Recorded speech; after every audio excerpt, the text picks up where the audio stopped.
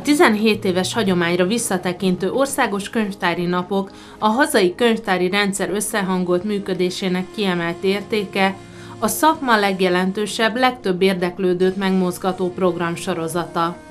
Ehhez csatlakozott be idén is a Tolnai Városi Könyvtár, melynek keretében Link Judit tartott előadást. Elkezdtem minden korosztálynak valami érdekességet összeállítani ebben a, az előadásban, tehát a népi színjátszás és a színjátszás maga az gondolom közelebb áll a fiatalokhoz, de én azt hiszem a popzene sem áll távol tőlük, hiszen a 60-as évektől már azért, már azért Magyarországon is a popzene dívott és szerették, úgyhogy nagyon remélem, hogy hogy jól fogják fogadni, mint a fiatalok, mint az idősebbek. Nagyon úgy tűnik, hogy a kíváncsiság jelenti Dél-Korea kulturális előnyét.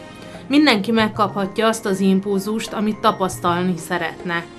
Egyesek a fiú együttesek tagjainak vonzalmát érezhetik, talán a történelmi kosztümös sorozatok iránt vágyakoznak, míg mások a koreai nyelv rejtélyeit szeretnék kiismerni, esetleg egyszerűen az ország természeti szépségei iránt kutakodnak. Egyrészt nekem Ázsia szívem csücske kis gyerekkorom óta, úgyhogy én Indiával kezdtem, és mentem egyre keletebbre, Kína, Japán, Vietnám, Indonézia, és az utolsó volt érdekes módon Korea, és ez a filmek kapcsán, ugye a Palotai köve volt Magyarországon az első, azt hiszem, amit leforgattak, és én könyvtáros vagyok, és én olyan könyvtáros vagyok, aki nem bírja elviselni, hogyha valamiről nem tud valamit.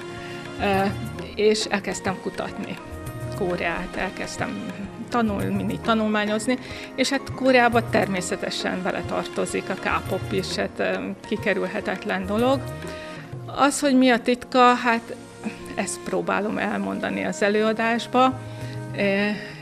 Remélem egy kicsit meg is fogom világítani ezt. A K-pop befolyása kiterjed a divatra is, főképpen Ázsiában, ahol a koreai popszárok ruhái, frizurái és az általuk használt kozmetikai termékek keresettek a fiatalok körében. Az előadás keretében több könyvvel is megismerkedhetnek az érdeklődők, melynek keretében tágabb képet kaphatunk eme különleges országról Kelet-Ázsiában. A könyvek, amiket ajánlani szeretnénk az olvasóknak, koreai könyvek, koreai történetek.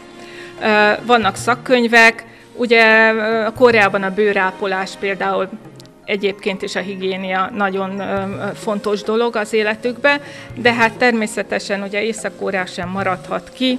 Korea története, és hát, hogy maradjunk magánál az előadásnál, hoztunk K-popos könyveket is. Ugye a BTS együttes a legismertebb jelen pillanatban a K-pop világából a, a világban. Két angol nyelvű könyv, és már magyarul is megjelent egy könyv. Ez természetesen a Tolnai Könyvtárban megvan, valamint egy szép irodalmi ifjúsági könyv sorozat is indult, ami K-pop történetű, ezt is természetesen ajánljuk a fiatalabbaknak. Dél-Korea, az ultramodern nagyvárosok és az ősi, számunkra ismeretlen keleti kultúra kettősségét egyaránt magánhordozó különleges ország, melyhez talán az előadás végével sikerült egy kicsit, ha csak gondolatban is, de közelebb kerülnie mindenkinek.